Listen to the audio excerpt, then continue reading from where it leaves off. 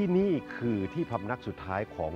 วีรบุรุษคนสำคัญของหลวงพระบางของประเทศลาว ก็คือเจ้าเพชรราช เดี๋ยวผมจะพาท่านเข้าไปข้างใน เดี๋ยวจะเล่าให้ฟังว่าท่านเอ่อเป็นบุคคลที่มีความสำคัญอย่างไรบ้างนะ นี่คือคุ้มเชียงแก้วครับ บ้านพักของมหาบุรุษของลาวคนหนึ่ง เจ้าเพชรราชครับ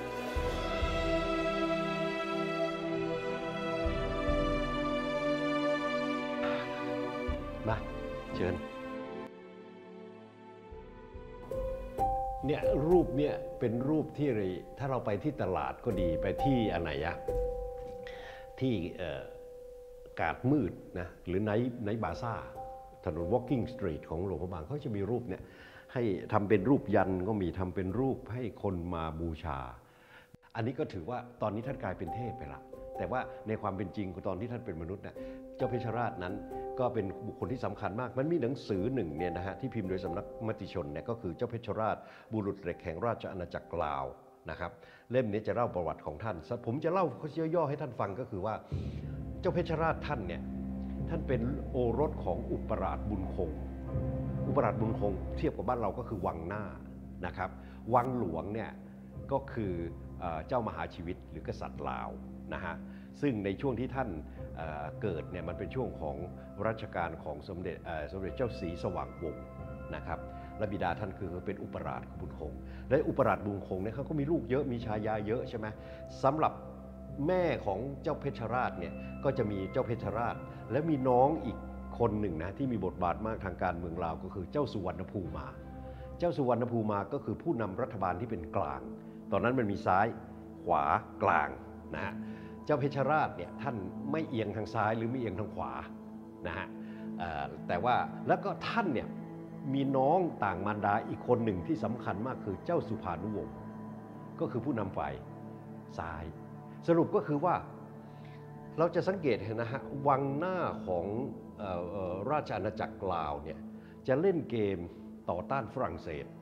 นะฮะต่อสู้เพื่อเอกราช นะในขณะที่ฝ่าฝ่ายวังหลวงเนี่ยมีความสุขแฮปปี้ที่อยู่ภายใต้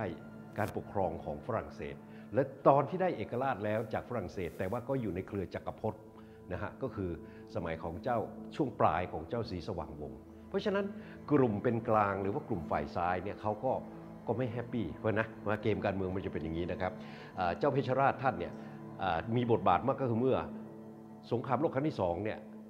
ญี่ปุ่นเข้ามาในลาว แล้วก็ไล่ฝรั่งเศสไปนะฮะแล้วก็พอญี่ปุ่นแพ้ ช่วงสุญญากาศทางการเมืองเนี่ยของมหาอำนาจที่มันเปลี่ยนไปเนี่ยเจ้าเพชรราชท่านตั้งกลุ่มที่เรียกว่าลาวอิสระขึ้นมา กลุ่มนี้ขึ้นมายึดอำนาจและตั้งรัฐบาล และประกาศตัวว่าเป็นเอกราชอย่างเงี้ยนะฮะปรากฏว่าอยู่ได้ไม่นานฮะฝรั่งเศสเข้ามาฝรั่งเศสไม่ยอมแน่นอนฮะในที่สุดก็จบลงด้วยการที่ตัวท่านเองเนี่ย ก็ต้องลี้ภัยไปอยู่เมืองไทย ท่านไปอยู่เมืองไทย 10 กว่าปีนะฮะแล้วก็ตอนก่อนไปเนี่ยท่านก็มีชายามีลูกอยู่ในเมืองลาวเนี่ยฮะท่านไปอยู่เมืองไทยท่านก็เลยไปได้ชายาอีกคนหนึ่งเป็นหม่อมเป็นเป็นสามัญชนนะฮะและคนนี้ก็คือคุณอาของพลเอกชวลิตยงใจยุทธและตอนหลังท่านก็กลับมา หลังจากเหตุการณ์มันเปลี่ยนแปลง ปี 2500 ท่านได้กลับมา แต่ท่านกลับมามาอยู่บ้านหลังนี้ บ้านหลังนี้แต่เดิมไม่ได้เป็นคุ้มของท่านเป็นบ้านของพวกฝรั่งแล้วท่านก็มาซื้อต่อแล้วก็มาอยู่ที่นี่ ท่านมาอยู่ได้ประมาณ 2 ปีกว่าท่านก็สิ้นที่นี่นะฮะอันนี้เป็นประวัติคร่าวๆ แต่ว่าเรื่องที่สำคัญมากก็คือ การที่ท่านตัวท่านเองเนี่ยเป็นรูปท่านนะอยากให้ท่านดูนะครับ ท่านกลายเป็นคนที่ในคนลาวจะเล่าให้ฟังนะฮะแล้วขยับมาทางนี้ไหมฮะเราจะได้เห็นภาพนะฮะคืออท่านจะในในในในการเล่าของคนลาวเนี่ยฮะเพื่อนฝูงลาวเล่าให้ฟัง ท่านจะเก่งทั้งหนึ่งแน่นอนท่านรักชาติใช่ไหม ท่านต้องการให้ประเทศลาวเป็นเอกราช นอกจากนั้นท่านยังมีคาถาอาคมมีความเก่งก็คือกลายเป็นวีระบุรุษทั้งทางการเมืองและทางประวัติศาสตร์ และวัฒนธรรมนะคนก็จะเล่าท่านเยอะแยะนะครับท่านท่านสิ้นในปี 2502 ก่อนเจ้าสีสว่างวงศ์เข้าใจว่าประมาณ 3 เดือน 3 เดือนหรือ 2 เดือนอะไรประมาณนั้น นะครับแล้วท่านก็สิ้นไป แต่ว่ารื่องด้วยเรื่องราวที่มันเกี่ยวข้องกับท่านเนี่ยแล้วก็น้องของท่านที่มีบทบาททางการเมืองสองสองท่านก็คือ น้องน้องร่วมแม่เดียวกันเจ้าสุวรรณภูมา ซึ่งเป็นฝ่ายกลางนะกับคนที่เป็นผู้นำฝ่ายซ้ายเลยก็คือ เจ้าสุภานุวงศ์คือคนนี้นี่นะฮะเจ้าที่ฝรั่งจะเรียกเขาตอนนั้นว่า the red prince เจ้าชายแดง คือคอมมิวนิสต์เนี่ยเขาจะ เขาจะต่อต้านระบบกษัตริย์ใช่ไหมระบบเจ้านะแต่ของลาวเนี่ยเจ้ามาเป็นคอมมิวนิสต์ฉายาของท่านคือ Red Prince นะครับเนี่ยนะครับแล้วนี่เห็นไหมแล้วก็ในที่สุดเราก็ต้องยอมรับว่าพรรคคอมมิวนิสต์ของของของลาวเนี่ยมันมันมันก็ได้การสนับสนุนจากพรรคคอมมิวนิสต์อินโดจีน และก็ที่ต่อมาก็คือพรรคคอมมิวนิสต์ของเวียดนาม หรือว่าพรรคลาวดงนะครับพรรคแรงงานเนี่ยนะครับเนี่ยเห็นไหม เพราะฉะนั้นเนี่ยเป็นภาพที่ในในห้องนี้จะมีภาพของคอมมิวนิสต์นะครับและอันนี้เป็นภาพนะครับอ่า1977นะฮะลาวและเวียดนามอ่า1977 ก็คือหลังจากปลดปล่อยแล้วนะฮะประกาศเป็นสาธารณรัฐแล้วนะฮะ1975 1975 ก็2ธันวาคม1975 เปลี่ยนการปกครองนะฮะจากระบอบกษัตริย์มาเป็นสาธารณรัฐนะฮะแล้วก็ 1977 ก็เซ็นสัญญากับ กับอะไรนะพันธมิตรกับเวียดนาม จริง ๆเขาก็ร่วมกันนะต่อสู้กับฝรั่งเศสต่อสู้กับอเมริกามาตลอด มีภาพสำคัญตรงนี้ฮะมาที่นี่ต้องมาดูภาพนี้ฮะอันนี้คือผู้นำพรรคคอมผู้นำคอมมิวนิสต์เวียดนาม จีนลาวนะภาพเนี่ยนะครับท่านสุภานุวงศ์จิมิน โจเอ็นหลาย ท่านไกรสอนพรมวิหารนะครับเนี่ยอันนี้คือคนสำคัญมาก ๆ ที่นำกองทัพเวียดนามรบชนะฝรั่งเศส ในวันที่ 7 พฤษภาพศ 2497 ที่เดียนเวียนฟู เดียนเวียนฟูแตก นี่ฝีมือคนนี้ครับ ท่านในพลโววันซับนะส่วนมากผมเนี่ยนะจะรู้จักพวกคอมมิวนิสต์ดีมากเลย ถ้าเกิดทันสงสัยเป็นกับเขาเข้าปากเขาแล้วนะ หรือไม่ก็โดนฆ่าไปแล้วนะ ผมเคยมาที่นี่กับ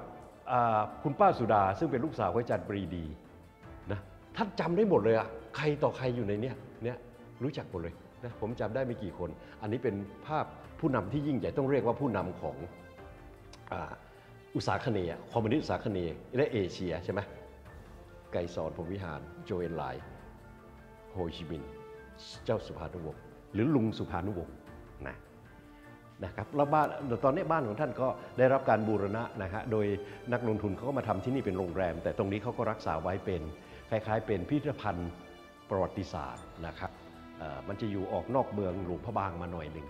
นะครับแต่นี่เป็นเรื่องเรื่องยิ่งใหญ่มาก เป็นพูดง่ายๆนี่คือบ้านพักของมหาบุรุษของลาวคนหนึ่ง เจ้าเพชรราชครับ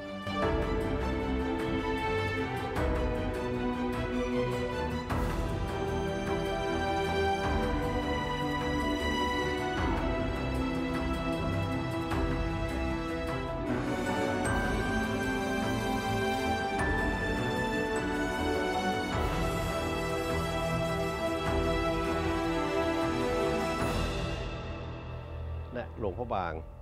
แล้วแม่น้ำโขงก็จะไหลอย่างนี้ใช่ไหมเนี่ยแล้วก็มาอ้อมมานี้อ้อมไปนี้เนี่ยเห็นไหมมันเห็น